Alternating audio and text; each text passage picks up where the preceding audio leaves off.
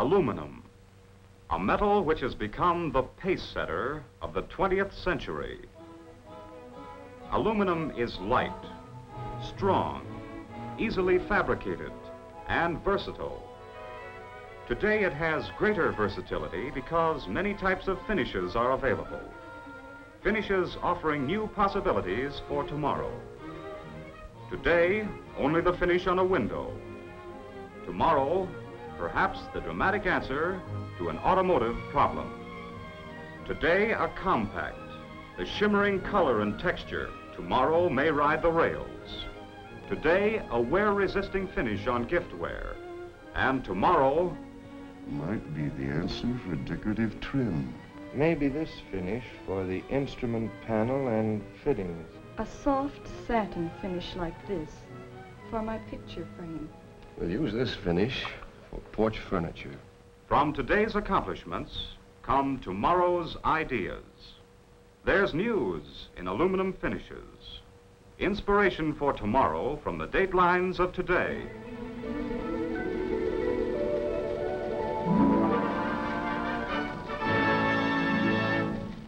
Dateline, New York City. Towering lines of the buildings at Rockefeller Center are admired by visitors from near and far.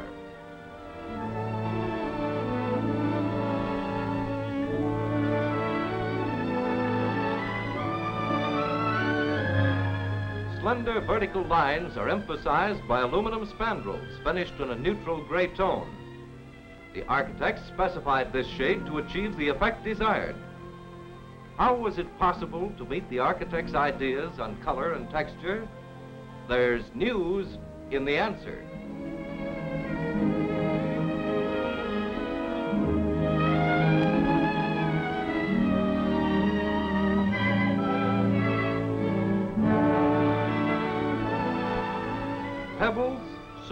Water, cascading against castings of aluminum, friction of stone against metal, thousands of tiny impressions creating a dark gray color. A simple mechanical device to obtain the desired tone. An illustration of the possibilities which lie in mechanical finishing methods. Variations of mechanical finishes can be used to produce dozens of different tones and textures. Finishes in themselves, or textures and lusters for any overlying finish. Perhaps the most common of all mechanical methods is buffing, polishing, polishing with buffing compounds against a revolving wheel. The smoothness and brightness of the finish depend on the combination of buffing compound and buffing wheel or belt. These finishes range from a high gloss to a soft satin finish. A wire brush provides the familiar scratch brush finish with its various effects. The texture of the surface depends on the fineness and stiffness of the wire in the brush. Sandblasting is a fast and inexpensive method of giving castings a clean, uniform surface. Variations in the kind and coarseness of abrasive give finishes with variety and texture and shade. The tumbling barrel is a practical method of removing burrs and other roughness from small parts. Hard steel shot with a little soap and water lubricant tumbled in the barrel results in a smooth and burnished surface on the product, hundreds of which can be finished in the same economical operation. After one or more tumblings, the product is finished and ready for market.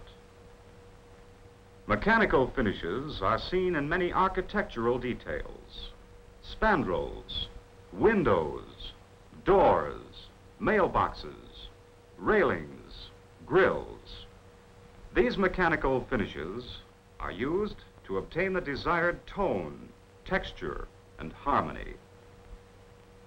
In almost any American home are examples of several mechanical finishes on aluminum ware hand-hammered trays, familiar utensils, color-buffed.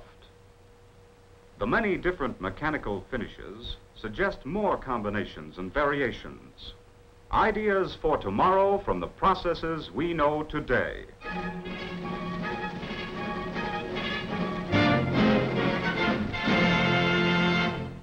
Sidewalks of the nation. Truck drivers are rolling out the barrels and hoisting them with ease today. They're aluminum. Imagine a good-looking beer barrel. But why bother with a finish at all? Purely for its merchandising appeal. It wouldn't pay to spend much money finishing a barrel. So they found the answer, a chemical treatment. Like the mechanical finishes, this chemical treatment changes only the appearance of the surface, not its durability. It is an acid dip. Followed by water rinsing, this chemical treatment prepares and cleans the inside, ready for the beer, and gives the outside an attractive silvery finish. Another widely used chemical treatment is the caustic etch. This produces a frosted finish on stampings, forgings, and castings. On nameplates, the words, graduations, and designs can be engraved on aluminum by another chemical treatment. A chemical solution etches the parts not protected by a stop-off, outlining the design on the surface. A great many products today, such as aircraft gasoline tanks, are finished by one of the group of chemical treatments known as the Alrok processes. By chemical means, an oxide film is applied, which is thicker than the natural film and gives greater protection. In one of the Alrok processes, an alkaline chromate solution is used to oxidize the surface. A second chemical treatment seals the oxide coating. Alrok coatings are used for both protective and decorative purposes. These gasoline tanks are given an Alrok coating to protect them from the corrosive effects of aviation fuel. And on outboard motors, exposed parts get better protection because of the Alrok process. The finish on these motors takes a real beating, subjected to spray, vibration, and constant exposure. The ALROC coating here serves a double purpose. It bonds the paint to the metal and adds to the protection afforded by the paint. Rivets are often given a protective Alrok coating. The Alrok processes, as well as the other chemical treatments, provide economical methods of finishing either for protection or appearance. Methods in use today which will provide material for tomorrow.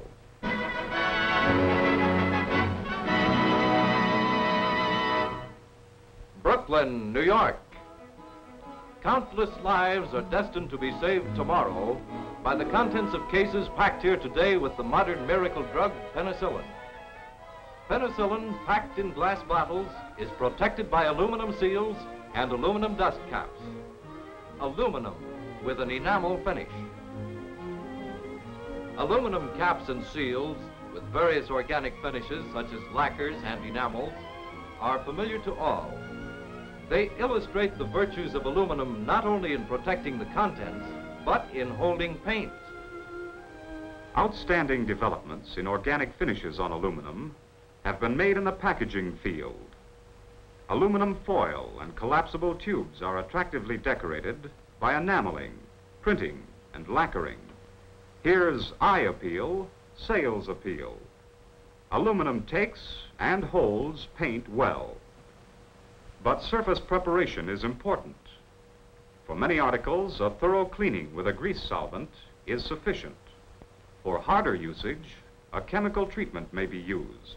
For instance, the aluminum tank of this truck was sprayed with a dilute solution of phosphoric acid, rinsed and dried. Zinc chromate primer was applied, followed by top coats of enamel. So today, organic finishes are applied to aluminum or any of its alloys, another development which holds promise for tomorrow.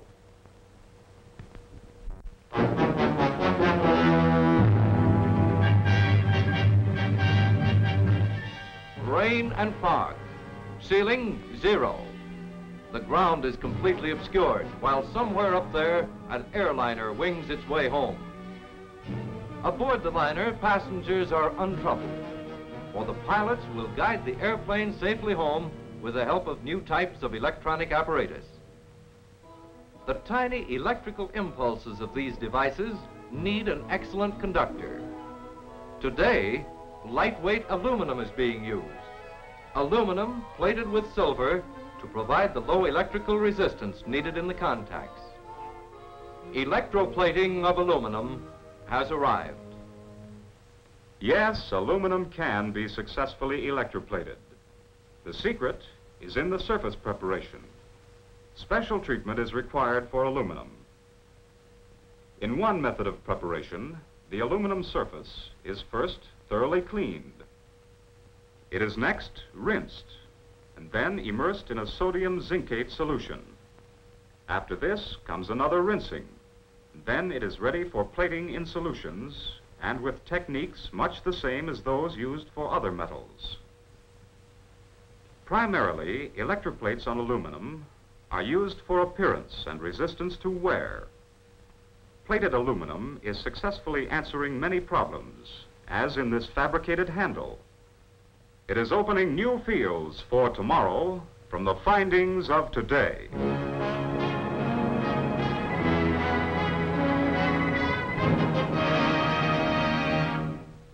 The Pacific Fleet, Navy planes, by special orders, resisted corrosion during long months of service in the Second World War. Taking off on countless patrol and bombing missions, amid salt spray in the tropics or in the frozen north, these planes stood the gap. By special Navy orders, the critical parts of every plane were given an anodic finish for added protection and as a base for paint. The anodic treatment forms a hard protective oxide coating on the surface of the aluminum by an electrochemical process. Earlier, we saw that the Alrok treatment made such a coating by chemical means. The electrochemical treatment makes a better and stronger coating. Most practical and durable of the anodic finishes is that known as the alumilite finish. Let's see just how hard it is. Half of this test piece is unfinished. The other half has been treated by the alumilite process. A rotating wheel of abrasive turns equally on both halves. After 3,000 revolutions, the abrasive wheel has left a worn track on the unfinished half, while the alumilite portion shows hardly any wear, thanks to its hard, thick oxide coating. Typical operations in the production of alumilite finishes include a cleaning bath, followed by a rinse in water. Next, the articles are anodically oxidized in acid electrolyte for a period from 10 to 30 minutes. The final step is the sealing of the finish so that it won't absorb stains and for increased resistance to corrosion. Big installations of equipment for applying alumilite finish are in use by many industries. This is a production line operation in the finish of aluminum furniture. All over America, products of aluminum with alumilite finish are resisting wear. Furniture and accessories finished by the alumilite process are attractive and durable. Yes, here at last is a metal that's easy to clean. Even those sticky remains come off with ease because of the hardness of the alumilite finish. In the production of alumilite finish, we have seen that at one stage it had to be sealed to keep it from staining. This absorptive characteristic can be an advantage. If before sealing, the coating is dipped in a dye solution, it takes on color just as cloth is dyed. The dye actually becomes part of the coating. In this example, a resist was used on the areas which were not to be colored. These colored aluminum nameplates illustrate a practical use of the alumilite process. Alumilite finish in colors offers many possibilities in terms of beauty and in terms of practical use. For instance, colored fittings on airplane hydraulic lines for quick identification nameplates, and easy-to-read dials. The dyed Alumilite finishes are best for interior uses when brilliant colors are wanted. Alzak reflectors are produced by another anodic treatment closely allied to the Alumilite process. 85% reflective efficiency can be attained by an electrolytic treatment. The surface is protected by a transparent anodic coating. A regular cleaning will keep the Alzak finish bright. The oxide film of the Alumilite finish, similarly, will retain its beauty with only an occasional wiping.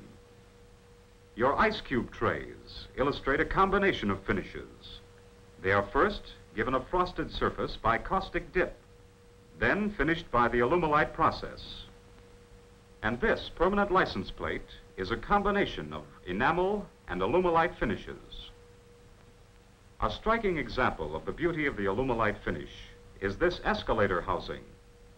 The pleasing tones and textures were produced by a combination of mechanical and Alumilite finishes. Many variations of tone and texture are possible through the use of mechanical or chemical methods, followed by Alumilite finish. Accomplishments of today, ideas for tomorrow.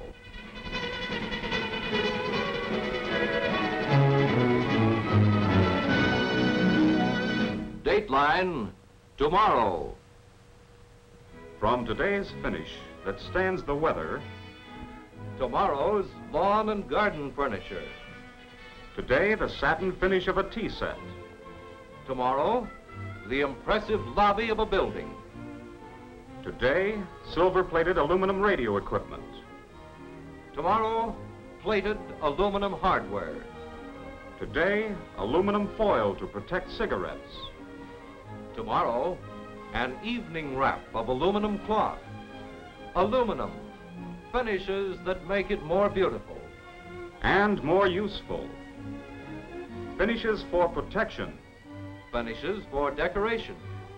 From the accomplishments of today will come new products, new uses. News for the datelines of tomorrow.